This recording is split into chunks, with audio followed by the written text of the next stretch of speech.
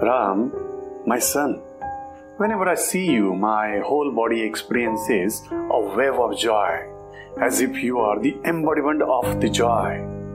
Every one of your delightful actions, like you're bursting with laughter even on petty looking things.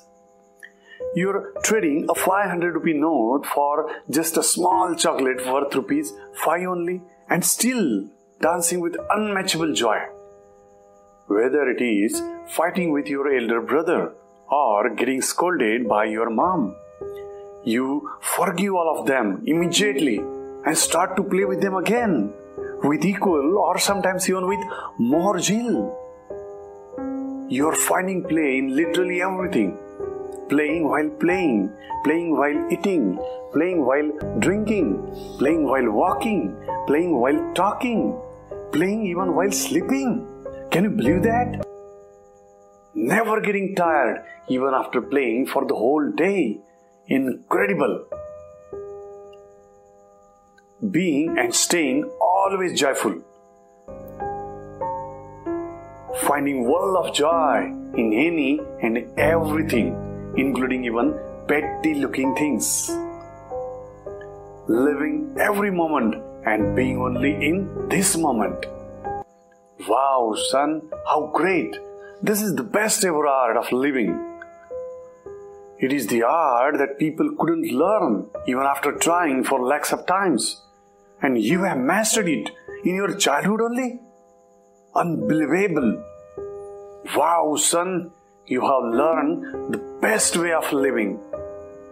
But Ram, my son, stay on high alert onwards.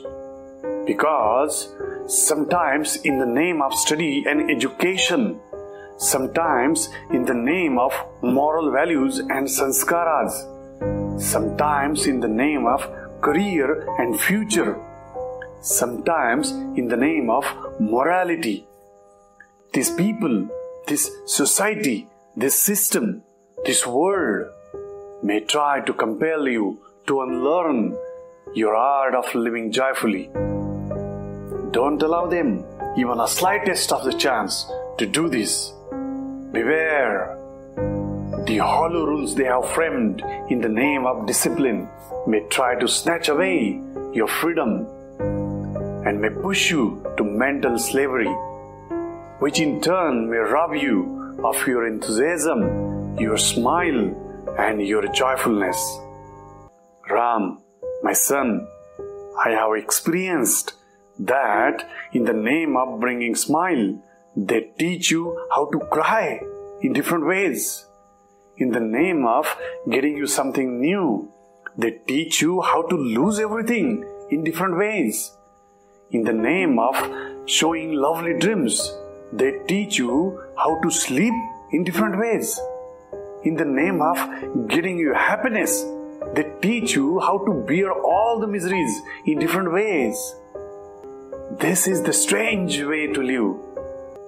And that is why nowadays people have to join the art of living.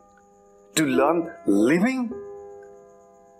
Because these people, this society, this education system, this system, this world, if they have taught them any art, then it is the art of spoiling their own lives, the art of staying eternally stressed, the art of going into frustration, the art of being in depression, the art of always being sorrowful, the art of weakening themselves the art of feeling jealous of others' prosperity, the art of living in constant fear, the art of living like a lifeless. Strange, isn't it? But the world is full of such people who have mastered these arts, and hence they need to approach others to learn the art of living. However,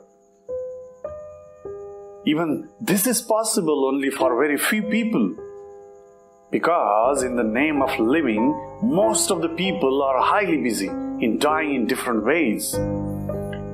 They are so busy in the art of dying that they don't even have time for living. anyways. But you must always stay joyful and keep improving your art of living joyfully. Mark my words, son. Only always being and staying joyful means living life. And always staying in unsatisfied and or sorrowful means smothering ourselves.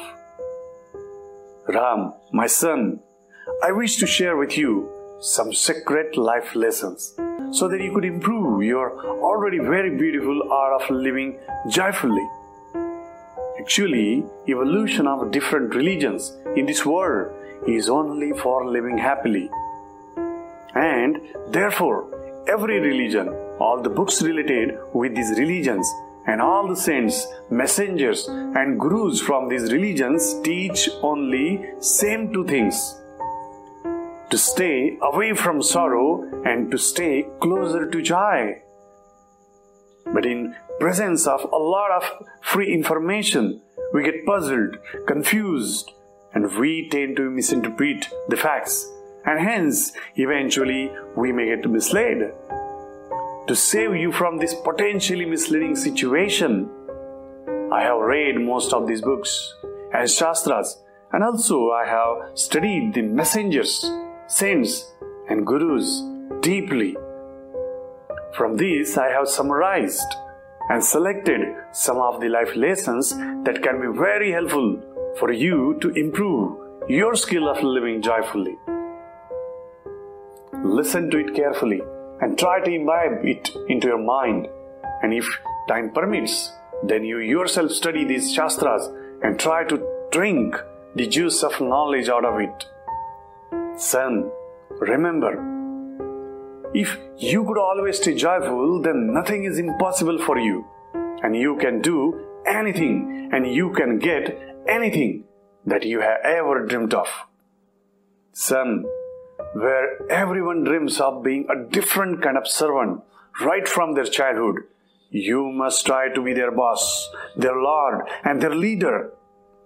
Where everyone competes to imitate others' thoughts, you must try to establish your own theory of everything, where everyone perceives the life from the eyes of thoughts of others. You must provide them with specs made from your vision. Son, this all is very possible only if you could always stay joyful and hence always stay joyful and keep helping others in doing the same. Let's spread the joy everywhere and Let's convert the life into a festival of never ending joy. Stay blessed, stay joyful, and keep smiling.